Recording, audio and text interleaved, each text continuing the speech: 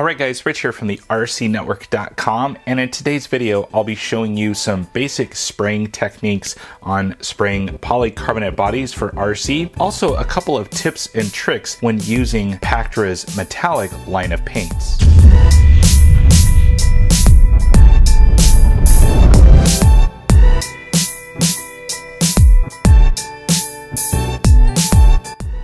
So in today's video, we're going to be painting up this Axial Racing Score Yeti Trophy Truck body. Now, in this video, we'll be showing you some tips and tricks on spraying techniques, also some cool things that you can do with Pactra's metallic line of paints, specifically their metallic blue here, one of my favorite colors here at the RC Network. So now, before you start painting, make sure that your body is fully prepped. You want to make sure that it is completely pre-trimmed, pre-washed, and tape off any areas that you don't want the original color to show. This particular body came with window masks, so I went ahead and taped those on the underside of the body. And I also taped off a section where I want a different color of paint. Now we're going to be painting this a black color, kind of act as a racing stripe. Now when using Pactra's line of metallic paints like the metallic blue right here, the key part of it is the second part of the process and that is backing the blue color. Now depending on what color you back the blue color, you're able to get different shades of that blue. As you see here in the background,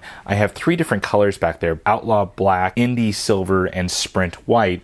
Now by choosing using those three colors, we're going to be able to customize the shade of metallic blue that you may want. Now, before we start, you want to make sure of a couple of things. You want to make sure that you're in a well ventilated area. I always like to paint outside, especially if your temperature permits. You always want to paint at ambient temperatures above 70 degrees to get the best paint adhesion. Now, other things you want to keep in mind, you do want to have a dust mask or some sort of mask for your personal safety. Breathing in particles can be dangerous and you definitely want to protect yourself and others around you. Now, another thing you want to do is you definitely want to give your can a good shaking.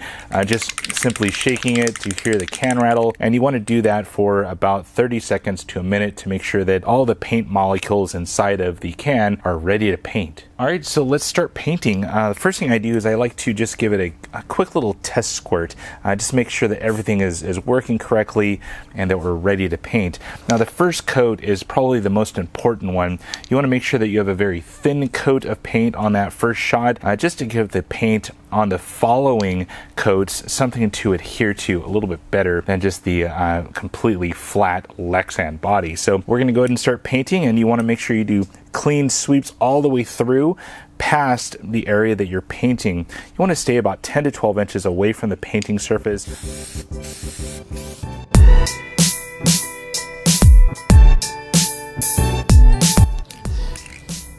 All right, so we've done our first coat here just a little bit. Now you're going to notice that it is a very kind of light blue iridescence. Um, you you're not doing anything wrong. That's exactly how the metallic paints are. They're kind of like a first stage to the backer coat. Remember that we're going to put on it. Now, all right, coat two.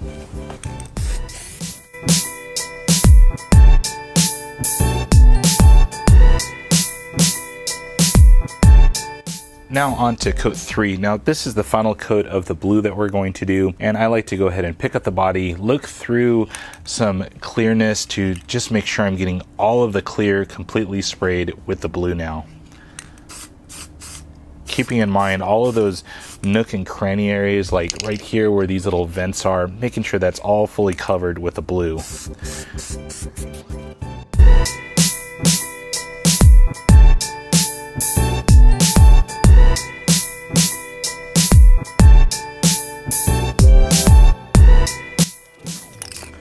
All right, now that we're done, we put three coats of the metallic blue on. You just want to give it a once over, make sure that there's no inconsistencies in the spray, making sure that you have no clear spots.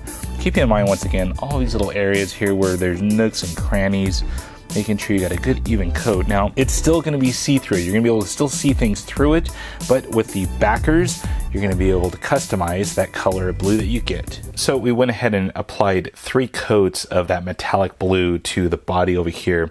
And I went ahead and made a little test strip for you guys just so you can see the flexibility of the Pactra metallic paints. Now, right here you're noticing this is the backside. I've painted it with a black backer, a silver backer, a white backer, and this is just the clear one, so or just the blue. With this, I put two coats of the blue. Now, if you remember on the body, I did three coats of that metallic blue. Now, if we flip this over, you can see just how flexible that paint is. I mean, anywhere from a deep, dark, super midnight blue right here, which is very, very dark, to kind of like a medium blue, almost like a, a, sky blue right there. And then here's the iridescence of just two coats of that metallic blue. So depending on how many coats of the metallic paint you use and which backer you use, you can really customize the color of metallic paint that you get in the end. So it's been about a day. I let all of the metallic blue completely dry 100%. I went ahead and I peeled the masking that was on these two racing stripes up here because we are going to go ahead and back the metallic blue with some outlaw black. That will give us not only the racing stripes up here, but it'll turn this metallic blue into a dark kind of midnight blue, which should be pretty cool. All right, so we're back outside. We're ready to put on some Outlaw Black and turn this thing into some good color. As far as the racing stripes here, we are going to keep in mind that is going to be the first coat onto that clear Lexan. So we want to make sure and do a light coat on that, but we can pretty much do a good coat on the rest of the body.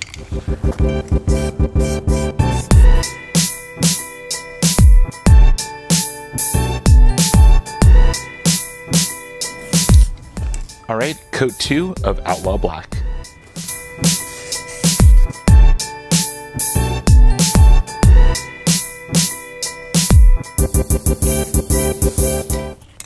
All right, so I went ahead and let everything dry for a good day now. I've already peeled off the window mask from the inside. One of the most important things is to make sure and peel off the overspray film. Now the overspray film prevents exactly that, overspray from coming from inside of the body to the exterior of the body while you're spraying. There's been some black that has kind of uh, leaked out from underneath as I was spraying and, hit onto the overspray film. So a simple removal of that and we can take a look at what we really have. All right, well, there's the final product. Overspray film is off. You can really see how deep and dark that metallic blue turned out by using the Outlaw Black backer on it. You can also see the racing stripes up here on the hood. You'll notice that they're flat and that'll be in a future episode, so stay tuned for that. But overall, really pleased with how everything turned out. You can really see uh, how beautiful and rich the metallic paint is. Camera just does not do it justice. You have to see it in person. In the sun, it's even better. Well, also another thing to point out uh, when you're doing RC bodies, typically you'll get a decal sheet, which definitely gets you some pretty cool little items on here just to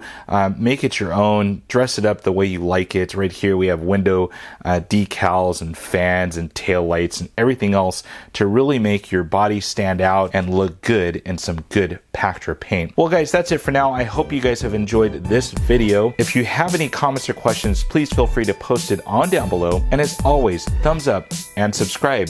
That's it for now, guys. Over and out.